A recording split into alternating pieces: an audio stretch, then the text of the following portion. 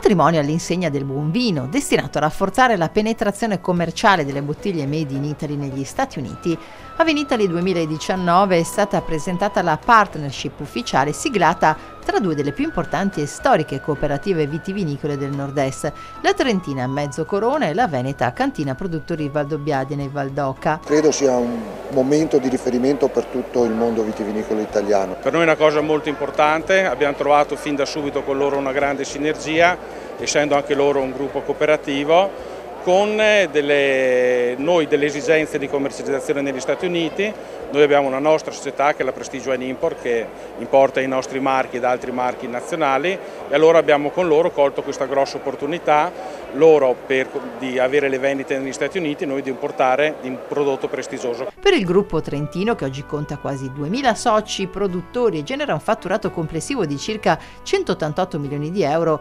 l'export rappresenta oltre l'80% del volume d'affari. Stati Uniti e Germania sono i mercati più consolidati, ma importanti soddisfazioni stanno giungendo anche dall'Asia. Con l'Asia noi lavoriamo parecchio, abbiamo un resident manager in, in Cina che eh, segue quel mercato per noi, abbiamo una persona che ci segue direttamente il Giappone e poi abbiamo i nostri export manager che sono molto attivi in quei, in quei nuovi mercati, in parte sono già consolidati. Questi importanti risultati commerciali vanno di pari passo con l'attenzione alla qualità, un concetto che per questa realtà trentina si traduce in precise prassi produttive che consentono ai vini di ottenere importanti certificazioni. Dopo tanti anni di lavoro nel 2016 abbiamo ottenuto la prima certificazione ministeriale sul prodotto uva,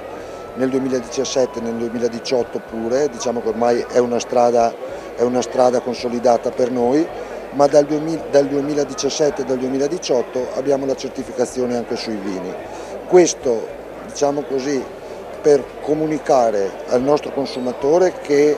la Mezzacorona produce sicuramente con etica, con rispetto per l'ambiente, con rispetto per le persone che nell'ambiente ci vivono e con rispetto per il territorio e che è in grado di fornire dei prodotti che sono assolutamente salubri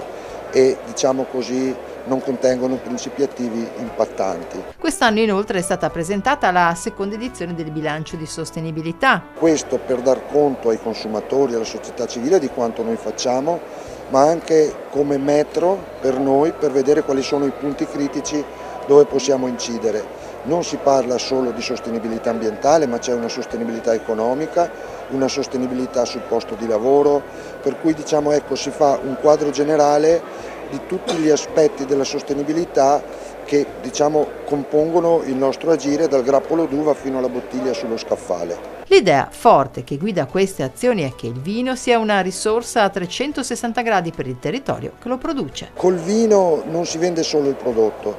non si vende solo il lavoro della campagna, non si vende solo l'esperienza e la puntualità anche nelle tecniche agronomiche dei nostri soci, però si, si, vende la cultura di un territorio, si vende il modo di agire in un territorio, si vende il tessuto sociale perché col prodotto vino da parte di noi cooperative si sostiene un'economia molto ampia. Per i soci, per i collaboratori del nostro gruppo ci sono oltre 470 collaboratori e poi quello che si fa fatica a trasferire a volte è il fatto che l'agricoltore con il suo lavoro, con il suo agire quotidiano mantiene il territorio rispetto a problemi idrogeologici. In Trentino per esempio mantiene un territorio che diventa piacevole per il turismo, per cui è un'economia integrata, non è solo dedicata a, a, al mero guadagno, è un'economia integrata con più aspetti. In più noi abbiamo costruito la cittadella del vino dal 97 in poi, siamo passati per la bonifica di un'area agroindustriale molto degradata e abbiamo voluto dare diciamo così, un valore di promozione territoriale e non solo economico del vino.